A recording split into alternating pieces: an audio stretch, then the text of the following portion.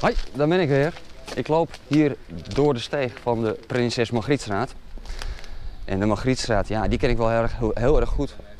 Eh, ik ben er geboren in deze straat. Eh, gastvrijheid, gezelligheid, stoppertje spelen vroeger. Hartstikke leuk. Ik ken eigenlijk dus alle plekjes van deze straat. Wij krijgen een woning in de verkoop, tussenwoning, van vier slaapkamers. Grote tuin op het westen, eh, met uitbouwmogelijkheden. Ehm, punt.